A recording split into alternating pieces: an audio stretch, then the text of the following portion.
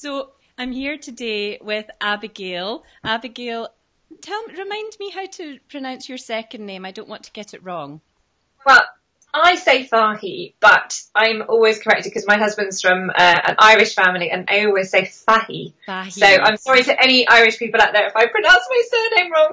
I always say Fahy, but it's really English and it's, yeah. Well, not if very you pronounce it wrong, then I'm allowed to pronounce it wrong. Exactly. Anyone can. so I'm here with Abigail Fahey. Abigail is a portrait photographer, natural light documentary mostly, isn't it, Abigail? Yeah, documentary lifestyle. Yeah. So we are here to talk about lots of different things. I know I've said that it's we're going to dive into Instagram and we will because Abigail owns it on Instagram, but we're also going to talk about lots of other things including Abigail's project 365 that she did a few years ago that I know has had a huge impact on her and her photography journey and her business but also how she balances the business alongside having four children and all sorts of other stuff that I know you guys are going to find really, really interesting. So before I head over to Abigail to get started, as always, if you have any questions at any point for Abigail, just pop them into the chat. What I will do is I'll be filtering those questions out all the way through our live and asking them one at a time. If I think that they might come up later in the live, I might miss them out, okay, but I have seen them, so don't worry. Right, Abigail, let's get started. We've got lots of people online, very excited to hear from you. We've got Mercedes from Surrey, Rachel Hello. from Cowdenbeath, Cara Hi. from Ontario, all over the world, Lindsay from. Pennsylvania, fantastic. Micha- Michaela is cleaning her bathroom while she listens to us. Missy from like Ohio. Kirsty, unfortunately, is listening from her bed with the flu. Oh dear. Catherine Well from Harrogate. Loads of you. Fantastic. It's great to see you all. Thank you so much for turning up live, especially you guys over across the pond, because I know it's early for you, so that's even more appreciated. Right. So I'm excited to speak to Abigail. I came across Abigail, I think just a couple of weeks ago. Someone posted a link to the video that you have on your website, Abigail, which I love, and we're going to talk about that. But also, I really, I kind of fell in love with your photography and your Instagram feed, and I just thought we have to get you on. Oh, um, So you. it would be great. I know it's really cliche, but it would be great if you could just start with just telling us a little bit about yourself and how you came to even start your photography business. Okay, well, no, it is a bit of a cliche. It's the it's the same old, same old. You know, first child is born, uh, really need a new camera, um, and I was into photography anyway. But I I think I got my first DSLR when my daughter was born. That was 13 years ago, um, and yeah, just ended up taking tons of photographs of her, and then second shooting for a friend of mine who was a photographer at the time for weddings. Um, realised weddings wasn't for me at the time um, with small children didn't really work. Um, and then it wasn't until I got until they started school really and I was taking photographs and a, a couple of the mums sort of encouraged me to, to do it a bit more and then somebody asked me to do do something for them and and then eventually yeah just kind of Just Organically happens, doesn't it? yeah so I started my business about um, nearly five years ago now um, and yeah, and it's it's it's slow progress, but it's yeah yeah it takes a it takes hard work, but it's getting there. It sure does. It sure does. This is the thing that we're always talking about within this group and within our membership is is the journey and and Mm. how hard it is and how long it can take. But yeah, you obviously Yeah. enjoy it, or you wouldn't do. still be doing I it. do. No, I do. I thoroughly enjoy it, and I love the fact that it's flexible enough for me to, you know, to have the children, and it, and it works around that. But it's it's by no means an easy route. Um, I've found out. Don't we all? Don't we all? Let's. Can we talk about those early days just for a little while? yeah, sure. I know a lot of our members, especially a lot of the people who are watching at the moment, are in those early days. So it's all, Mm. I think when I was in my early days, it really helped me to listen and speak to people who were just further down the road. It just reassured Yeah. me and helped me and Yeah. So, can you tell us what your business looked like in those early days, and what was the biggest kind of learning experience that you had back then? Right. Well, I mean, I was. Uh, yeah, I wanted to do every course I could possibly get my hands on. I was constantly online looking at other photographers and um, trying to find the kind of style that I wanted and um, playing around. So it's it's kind of difficult when I look back at you know when I first started. It sort of makes me cringe a little bit because I just think, oh goodness. But you have to start somewhere, and I think the only way to do that is to really kind of throw yourself in and just not to get too hung up on your own style or um, just trying too hard. Really, I think I just tried to absorb as much information as I possibly could. I watched all sorts of hours and hours of creative live TV, just um, kind of immerse myself in absolutely everything. God um, bless Creative Live. Oh, I love it. well, what did we do before Creative Live? I don't. I, I used to watch it whilst I was cooking. I'd watch it in bed. It was ridiculous. But uh, yeah, I just wanted to get my hands on as much information and research as possible. Um, but I mean, it is tricky in those early that those sort of early days because you really are. It's difficult to find your feet and to find your style, and and there's so many different styles out there that you could kind of emulate. And I think sometimes you do get a bit schizophrenic with it all. But um, once I sort of settled into um, what I was doing, um, it came a lot easier, and then I found it less important to sort of go online and try and compare myself to everybody else actually. So um, yeah, you do settle. That comparison. Yeah. That is a curse, isn't it? It is a killer. Yeah. It's a killer. Do you still yeah. do you still find yourself getting caught out with that sometimes, or are you over that stage? I I kind of, I don't know, I go through fits and spurts really. I mean, I'm actually fine now. It doesn't actually bother me at all. I, I enjoy looking at other people's photographs, but to be honest with you, I think where I got with my business is I started to realise that actually the photographers that I was looking at online, as amazing as they were, they weren't my clients. So I was spending more time looking at what I wasn't achieving as to what I was. And actually my clients weren't after that. They were after what I was offering. Um, so once I figured that out, it actually was much easier to kind of release that. And, yeah. you know, I will never be the best photographer in the world, but I'm definitely not the worst either. So I kind of figured, well, that's okay for me. You get that will caught, do. though. It, it, makes you stuck, doesn't it? When you start comparing.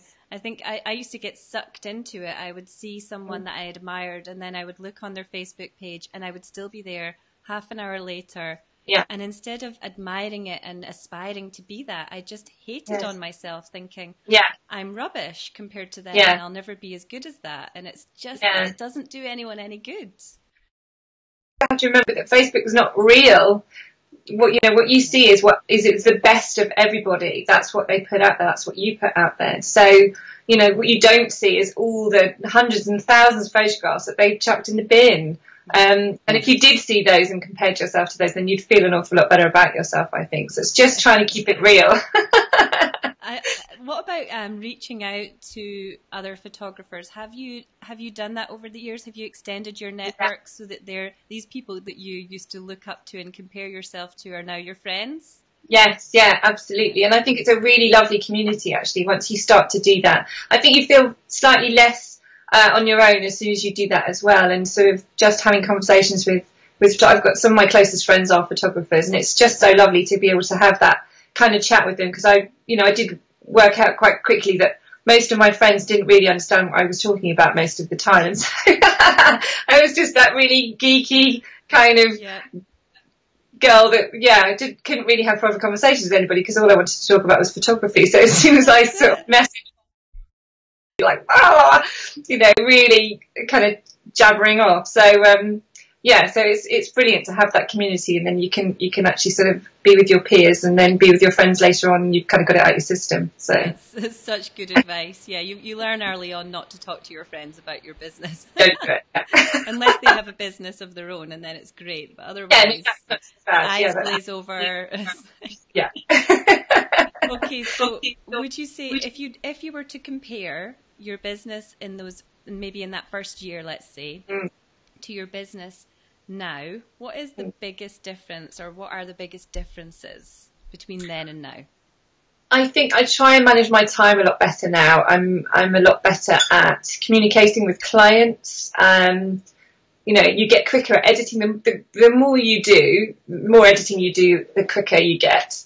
And that really helps because I was spending hours. I'm, I'm sure a lot of people who have just started out will, will spend hours and hours into the evenings and into the early hours of the morning editing and, and re-editing and re-editing because they're not quite sure of their style or they don't know if that's right. And, um, and I'm a lot quicker at that now. I'm, I'm, I'm better at culling my images. I'm better at editing them and you know, I know a lot more now than I did before. I've sort of learnt how to sort of get into that flow. So my workflow's a lot quicker.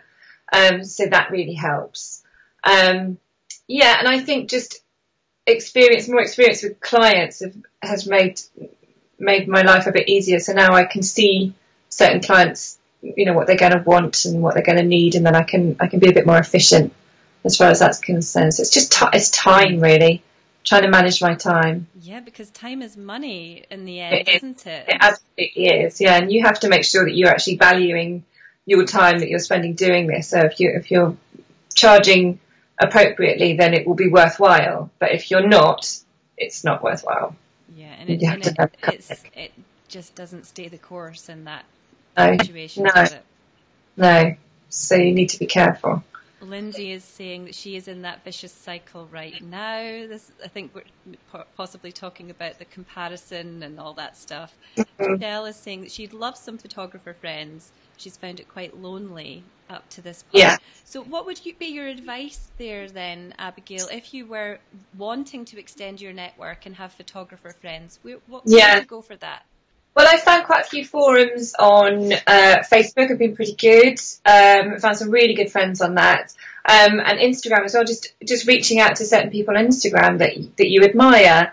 Um, get involved in, uh, you know, there are specific hashtags that you can use where you can get into groups in that in that way. Use these hashtags on your on your photos on Instagram, and then they can show up in in different groups, and you'll suddenly start to to see a, a pattern and a trend with people who are like-minded. And um, it, I mean, it's quite slow progress, but it, it, it's it's nice, and you will find those people. I think Instagram's very very good community for that. Actually, I find lots of yeah. people who are like-minded on Instagram. I'm glad you like. mentioned Instagram because I'd quite like to go there next. Um, I yeah. am self-confessed rubbish on Instagram, um, so every time I and I do have a scroll now and again, and I'm always I am very admiring of people like yourself who have committed to the whole Instagram platform and really worked hard at your consistency and to develop yeah. this um, a following and lots of engagement because I can see by your Instagram feed that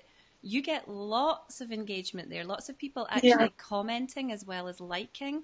Um, yeah. And it's it was very easy for me to see why. And I love that you've also kind of mentioned that it was slow progress. I, I would like mm-hmm. to go into that. But what has the journey looked like then from from the starting off on Instagram to now? What what has happened there with your journey? Well, I think I went over to Instagram um, a couple of years ago, um, sort of really threw myself into it because I just found it a, a, more inspiring place. I think Facebook, as we all know, sort of changed quite dramatically over the last few years, and so I found Instagram a better place to hang out in terms of inspiration and realized quite quickly that unless you engage with other people on Instagram, then you can get kind of lost, um, lost on the feed. And it, and it, it is a community. Um, and so you really do need to comment on other people's photographs or posts, um, and really get involved. I think it's a bit like if you're at a party and uh, you're just stood in the corner, you you're there, but you're not talking to anybody, and nobody's actually going to notice you. So if you leave, no one really cares. Whereas you have to actually start those conversations in order to have a good evening. So, oh, yes. um, yeah, that's such, it's, such a good true. analogy.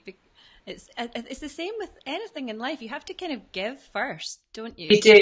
You absolutely do. And and I think um, it's a good platform for you to be fairly honest and open and authentic about what you're doing. And I think the more of that comes out, the more people engage and, and actually kind of want to hear more from you. So it is about being authentic and honest, I think, really. That kind of helps. That comes really easily to some people, doesn't it? To ju- they just they launch um, a social media profile and they they can be yeah. authentic and genuine and engaging right away. And then there's mm. the other tribe who say, I don't know how to do this. I'm I'm from this corporate yeah. background and I can't bring I can't get my personality across. Mm. Would where were you? Where did you sit? I kind of half, uh, I was sort of halfway between the two. I think to start off with, um, and then I started to notice that the more personal my posts were, the more engagement they got, and so it it sort of I think the less um, engaged you are, the less engaged your audience are really. So the more the more posts that you put out there that are actually sort of personal or um, mean something, then they tend to, to, to catch people's attention a little bit better. So it's not just the photograph, it's the caption and what you write with it as well. It's the combination. Yeah, I've noticed that about yours is that you have basically have a story for every image. So and yeah. the, story, this, the image has, for me, an image has to have a story for me to feel connected to it and feel yeah. compelled to comment. And mm. the people who are just putting up images are not getting that same level of, of engagement. No. But that obviously no. takes time on your part. I think it does, but you have to be invested in the image that you're you're posting. You have to know why you're going to post it. If you're just posting it for no reason, then of course, if you don't get a lot of engagement, you can't really complain. I think if you've invested a lot in taking that photograph, if there's a story behind that particular photograph, and then you write that story down, then you're you're going to engage your audience. So it just really depends. I try and the photographs that I take, I take with intent, and I think that's the difference. Um, and then if you post those, then then then people uh, respond. I think. It makes perfect sense. It makes perfect sense. I often hear Dermot has said my sound is a bit quiet, so I'm hoping that's an improvement, guys. If you let me know. Um, I, something I hear a lot from people is this this complaint about lack of engagement. I'm mm. you know I, I'm not getting any followers. I'm not getting much engagement. I don't know what to do, and I'll, often they'll just give up. Yes. Yeah. How how long would you say it took you to start seeing results from Instagram to start getting that traction? I think it took at least six months. Um, and I think you have to be committed. So in terms of every time you go online and you post something, you then go onto other people's feeds and you post a comment on theirs as well. You can't just post something and expect everyone to come flooding to you because it doesn't work that way. Yeah. So if you post, then go to five other accounts and, and engage with them as well, and the chances are they'll come back.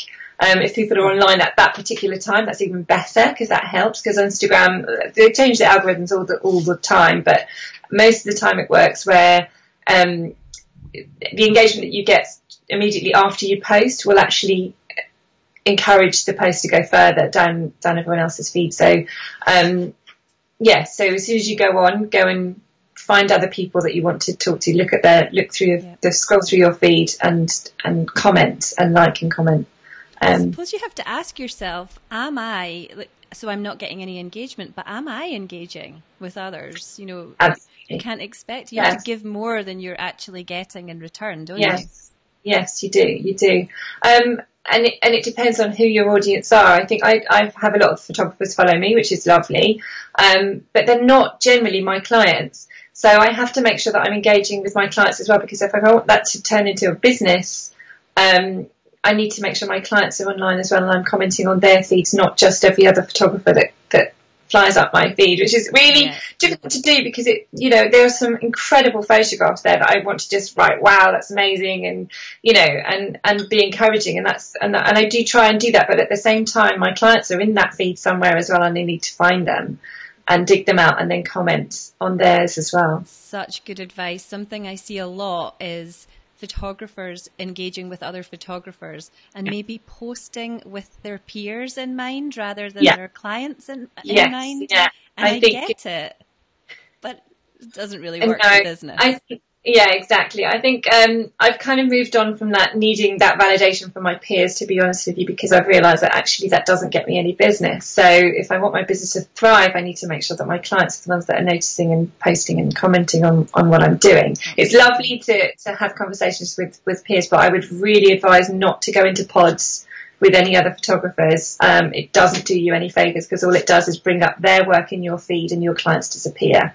So this is something where, we literally just talked about this yesterday in our membership was And it's mm. it's a it's kind of tempting to go into these pods. It is, and you do see more engagement, but it's not from the right people. It's no, it's, no. it's not bringing in the clients. No exactly it's targeted in completely the wrong direction and unless photographers are your clients then I would really advise against it. If you want to get into a pod, get into a pod with other people yes. from other businesses, even. I mean, I do that as well. I suppose local to you, lo- local businesses to you, that would be a really valuable pod, wouldn't it? Yeah, yeah. Any small businesses local to you that you want to support, cafes, um, you know, small business accountants, anyone like that, that, that you could potentially come into contact with that you can, you can join a pod with and they can comment and like on yours.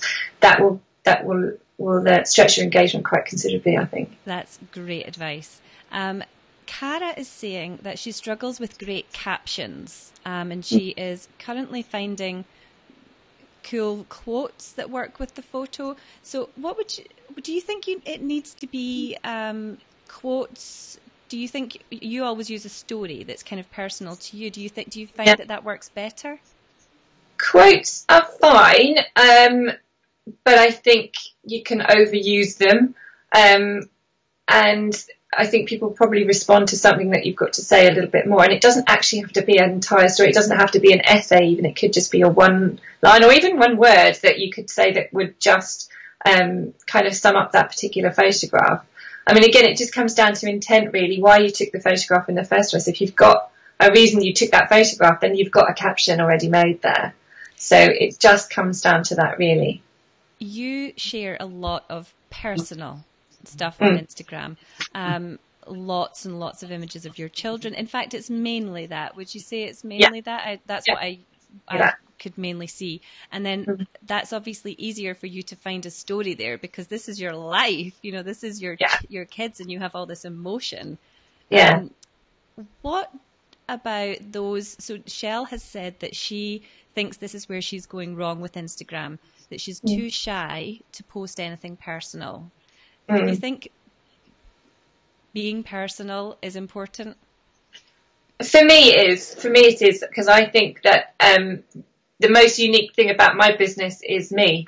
So uh, if that's my selling point, then that's what I've got to use. And that's the only thing that's going to set you apart from every other photographer because like I said, you know, there's competition around every corner, but the only thing that's unique about your business is you. And so you have to sell you. And, um, and that's kind of what I try to do. I mean, I, I'm fairly open and honest about what goes on in, uh, you know, in our household and sometimes it's not pretty, yeah. but you know, it's, people and mums especially can relate to that. And I think that's what makes you more personable and, and makes people kind of realize that you're a real person. Yeah. um, you're not trying to you know to hide too much. Um, and people respond well to that. So um, yeah and I know that there there are other people that are you know quite private about their their lives and that's fine. And I think maybe you just need to share something you're passionate about. I mean it doesn't have to be your family. It could be you know a consistent post about you know a walk in the park or or anything. It doesn't necessarily even have to involve people in your images. Um, but as long as there's something personal that you've written to go with that, yeah, um, people just, respond well. It, it makes it so much more relatable. I know that when I'm browsing social media, the things I engage with are the things that I go, oh, I know where you're coming from. You know, yeah. as a mum, if I see a photographer who's also a mum posting about maybe a, a, a bad day she's had with the kids yeah. or some meltdown that her child has just had, I'm probably going to jump into that conversation and say, mm. I hear you. You know, uh, this yeah, happened to me last week, or yeah, it's just relatable. Yeah. It's, it is. It is. So the more relatable the caption, the more the the more someone's actually going to comment. And actually, it's the comments that are going to make the difference, not the likes. Yeah. So um, that's kind of where you want people to be at. If you asking questions is always a really good one because asking a question sort of you're asking for a response, and in that respect, you're asking for people to comment. So if you ever get stuck, ask a question because um, that will help. Um, Caroline is saying that Instagram does seem to be more made for mutual engagement, totally unlike Facebook. But yeah. um, Lindsay has quite rightly said that it, Facebook, of, with this new algorithm change, is moving back towards this engagement. So really, the the advice that you're giving for Instagram is now very applicable to Facebook too. Absolutely, yeah. So I would just, I mean, they're owned by the same people, so you you would expect that what happens with one is probably going to happen with the other. Um, so yeah, so anything that, that involves engagement on on Instagram, I would probably I would probably do on Facebook as well, just to cover your bases. Absolutely. Rachel has asked a question that comes up all the time. Should mm. we have two accounts? Should we have a personal Instagram and a business Instagram, or should we have one? I think I know the answer you're going to give based on what you've just said. Should we have one that does it all? Um, I only have one because I don't have time. Um, you know, I find it really. I mean, I do actually have another account, but it's for um, sort of a side business that I do anyway. So, um, and I've actually got a um, a studio manager that, that sorts all of that social media side out for me, which is really good. So I can just engage on my own page. Um, yes, of course, if you if you want to have two separate accounts and you want to split your photography from your home life, then that's that's great. Um, I just I'm really time poor, so I find it easier just to to have the one. I think the um, engagement would go way down though, wouldn't it? If you're if you're just strictly business on your business account and personal yeah. on your per- you're not going to get that engagement on your business account when you're not being personal. No, I mean I'm predominantly more family and newborn photographer, so um, those are my clients, are the people that have got families, and so if I'm talking about my family, then that's relevant. I think for photographers that are potentially wedding photographers, sometimes to have a separate account is probably advisable because your clients are brides and, um, you know, generally younger brides without children, so they're not as engaged in your home life and your children's meltdowns as maybe mums are. Although so they, they will soon become possibly that client. And then bring them over to the other side. It just depends on your business, really. So you have to kind of find the relevant audience and then work out what, what whether that's going to. For me, this kind of works, but I think if I was predominantly weddings, I would probably have a separate account. Okay. Um, just to get those clients. Yeah. Douglas is asking, do you find there's a particular time of day that produces more engagement than other times? I suppose for your ideal clients, your ideal client being a mother of young children, yes. would you say, or Yes, generally younger children. Um, so yes, I tend to post in the morning and um, I'll get engagement at lunchtime. So it's just those those times. School pickup, you know, that sort of ten minutes before school pickup when you're sitting in your car waiting. That's when most of the mums are on Facebook and on That's Instagram. interesting. I've never thought you, about that before. Yeah, so if you post around about sort of two in the afternoon or something, chances are your engagement will go up a little bit just because they're sitting there waiting and, and it's a captive audience really. So you just have to be wise about when you post and, and how you do that. I mean, I'm not particularly strict about what I do. Um, I like to make sure that I post at least once a day, so I'm consistent with that. But um, I don't get too hung up on, you know, on when. yeah, it's a it's a testing game, isn't it? You just you kind of have to throw stuff out there and see what sticks, and sometimes there's no yeah. rhyme nor reason to it. Just no, no, no. There's lots of tricks and stuff, but you can get completely caught up yep. in that. And and Instagram is only one part of your business, and social media is only one part of your business. And if it's bringing you business, then great. It's worth investing in, but there are so many other avenues that you really need to make sure you're concentrating on as well. So, and if we go chasing all these different hacks, then we're not concentrating on no. the timeless advice, which is just be helpful and engaging and there for your clients. Absolutely, yes, exactly. So there are lots of other channels that you need to make sure that you're you're concentrating on as well. Um, and yeah, like I said, if I'm time poor, I need to make sure I'm using my time efficiently. So I can't spend hours and hours on Instagram yes. if it's not getting me any business. Absolutely. So I have to just be careful about that. So yeah. you you mentioned earlier about um, being mindful that you're engaging with your clients on Instagram as well as other photographers. But mm-hmm. Rachel's asking, how do you even go about finding your potential clients on Instagram? How does that happen for you? Um, so I look for, um, well, you can just look via hashtags, look for anything with mummy related. Um, I I look for mummy bloggers and then look for the people that are following them. um, because they always get high engagement. Um, mum bloggers that are, you know, are fairly good on Instagram, you'll you'll find lots of your mums are going to be hanging out there. Um, so that's kind of where you need to head for. Um, so I would probably do that, and then I suppose yeah, head for local um, local people, local mum groups. Um, yeah, lots of Facebook groups, school groups. I mean, schools are, you know, an amazing sort of network ready made for you. If you're a mum at school, you have already got that network there. What about your your hashtags that you use? You've got lots of hash, hashtags that you use, Abigail. Mm. How do you, how have you organised them? How do you um, know which ones to post with which images, or do you generally use the same ones? I kind of try and chop it around a little bit if I can. Um, you have to be careful not to reuse the same hashtags all the time because of shadow banning and all that kind of nonsense. So to be very careful about that. I mean, Instagram have, have cut down quite considerably on, on that. So if you post the same hashtags all the time, you're going to look like you're spamming and it will shut you down. So, so you just have to be kind of wary of that really.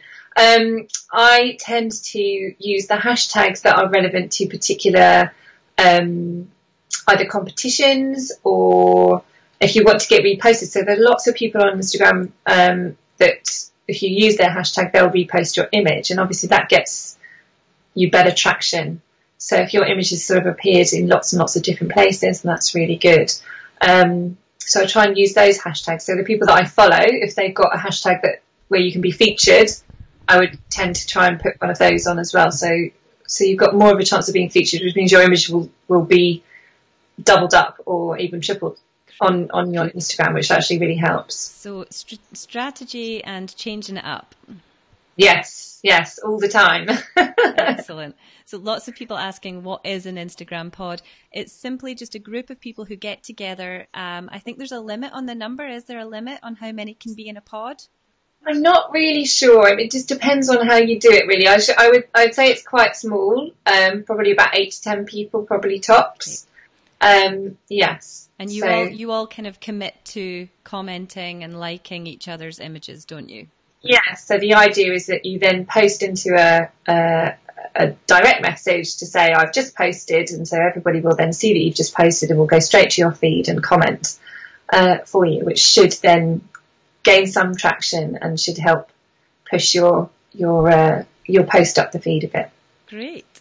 So Shell's asked uh, an interesting question. She can definitely see the benefit of mixing up personal and business on Instagram, but she's wondering mm. about posting, you know, phone images, you know, just raw phone images of her family. Mm if you were going, if you were a professional photographer, do you think that that's a good idea, or is that going to make your feed look a bit messy and inconsistent? Um, yeah, I don't do that. I I only post the photographs that I take with my my big girl camera. Um, now, I used to be one of those really die-hard 100% iPhone photographs. Don't actually, I thought it was cheating to start off with, and I was really against it. And then I realised that everybody was doing it, and now my feed looked a bit rubbish, and everyone else looked really curated and gorgeous, and I was like, oh no, I'm going to have to up my game now. Yeah. So now I don't post um, iPhone photographs at all, um, simply because I don't I, I don't actually take that many with my phone to be to be perfectly honest because I do have my camera with me most of the time. So I tend to just regenerate those ones and then it's consistency I think which is really important in your feed. So if you have got a couple of beautiful photographs and then you put a, an iPhone photograph which is not as great you, you you're kind of not really doing yourself any favors. I wouldn't have said. Yeah, I suppose it's all about the. I mean, some people are amazing with their iPhone and they're into the yeah. you know iPhoneography, yeah. but it, yeah. it does. I think if you're wanting to reach clients and you're a professional mm. photographer, you have to have a high standard on there, don't you? Yeah, I mean, this is this is basically your online portfolio, and you have to look at it that way. So if you wouldn't put that in your portfolio, then don't put it on your Instagram feed. Yeah. Um, because at any one time you want somebody to see that image as the, as the best one that you're do, you're you're posting at the time. So I would just I would just be wary. Oh, and if and then if that's if you just want to post iPhone photographs, then again go and get a, a, a personal feed, you know, completely separate to your business so that you've got that consistency. Absolutely. So, Diana, a few people have mentioned this, but Diana has said, Hi, Abigail, you've mentioned interacting with your clients. Do you follow your clients back if they follow you? Yes. Yes. Yes, I would. Yeah. Yeah. Do I don't tend to on Facebook. It's I don't I find Facebook a bit of a different uh, place. I have my, my, business Facebook page, which is fine, and and you know my clients follow me there, which is great, and that appears in their personal feed. That's brilliant. Um, with my Facebook personal Facebook page, I tend not not to sort of engage too much um, I don't actually use it all that much, to be yeah, fair. It just, it, it's just what you're going all in on, isn't it? So you're yeah. you're all yeah. all about Instagram. I've always been all about Facebook, so I've always befriended my clients on Facebook, and I've made sure that I've followed their kids as they get older and commented when it's their birthday and all that stuff.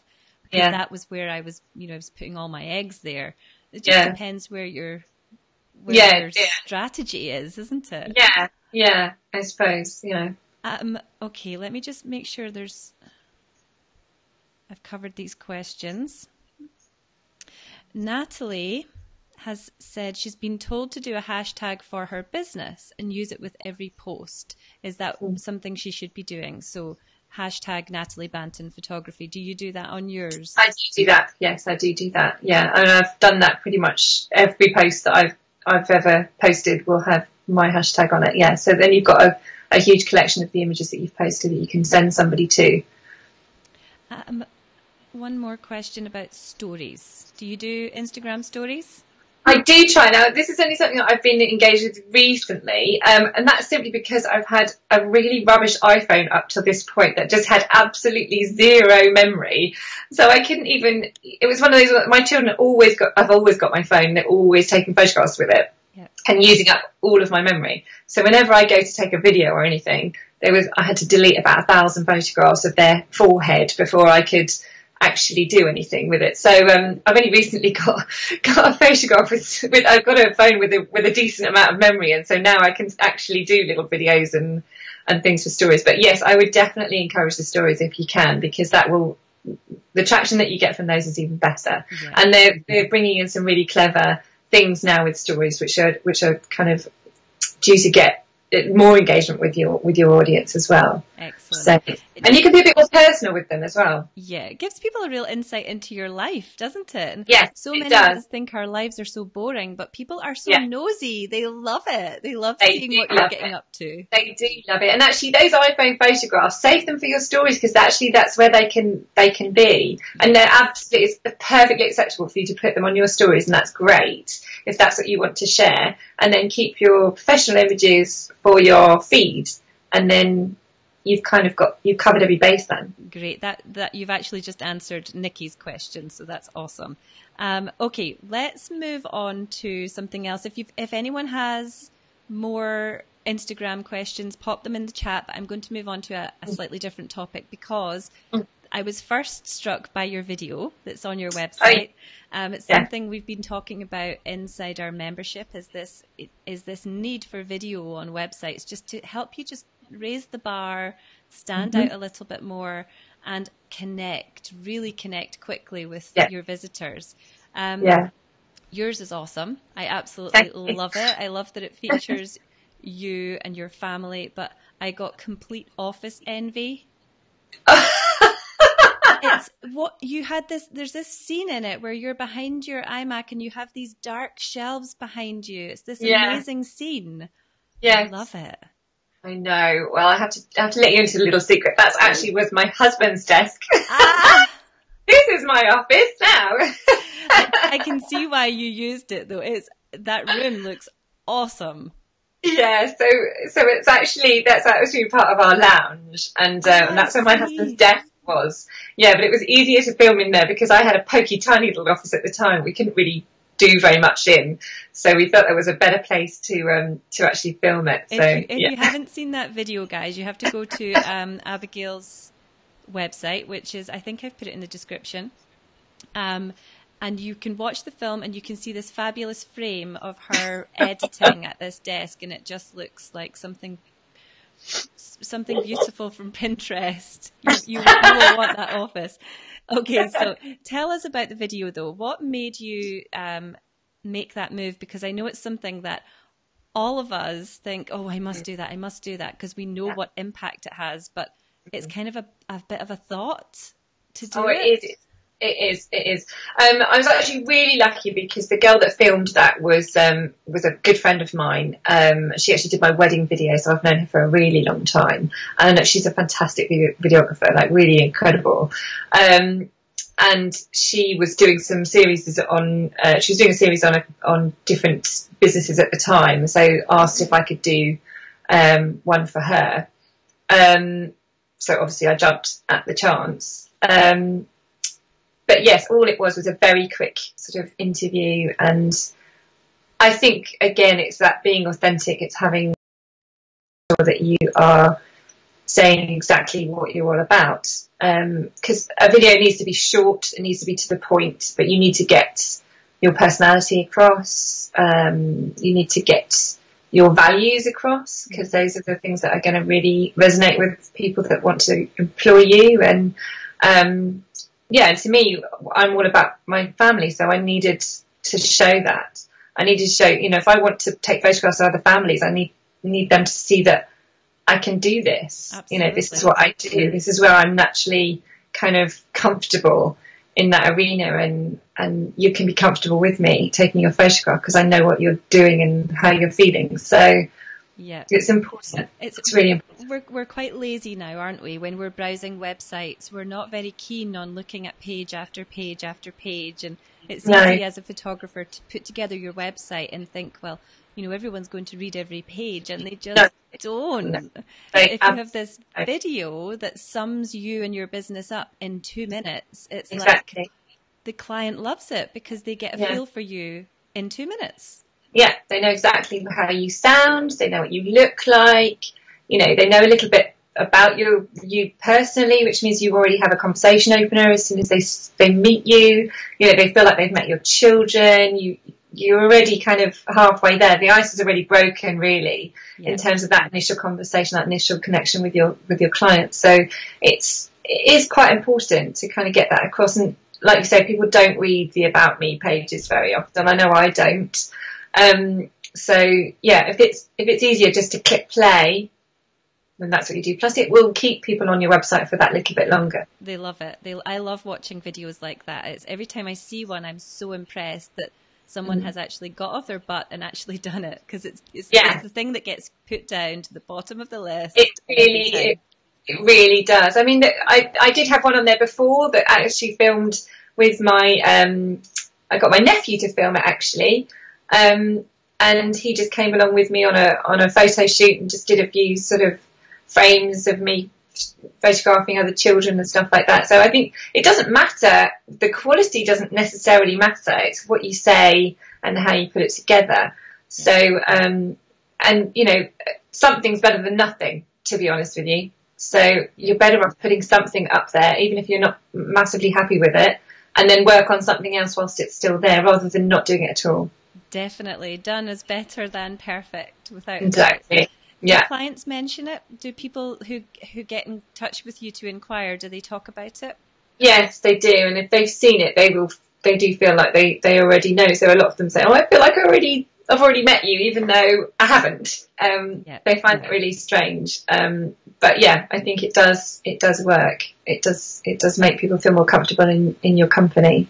So, and if you're meeting somebody for the first time, I mean, occasionally I've met clients, you know, in a car park. I don't, I don't really know what they look like, but they immediately know what I look like. So, you know, yeah. they come towards me, which is really nice. And I'm sure it sets you apart from your competition as well. When people are browsing, looking for a photographer, and they see that someone has this professionally put together show reel, if you like, that yeah. you immediately think, oh, this person is someone who takes her business very seriously yeah. and goes that extra step. It just gives you this yeah. feeling of trust and that yeah. extra level. Yeah, exactly. I think it does give you some sort of authority in a way. So, um, yeah, it kind of helps. I it's, think it's fab. I love it. It's definitely something I would encourage everyone listening to think about. Put it on the list and get a video done at some point. It'll be yeah. a, a, great addition to your website and your social media as well. Oh, definitely, yeah, because you can use little snippets on, on social media on, on Instagram. So I've got a little sort of five seconds worth of that film that I've put on Instagram before, which got a lot of traction, um, that you can repeat, you know, every so often. You can pop it on again. Brilliant.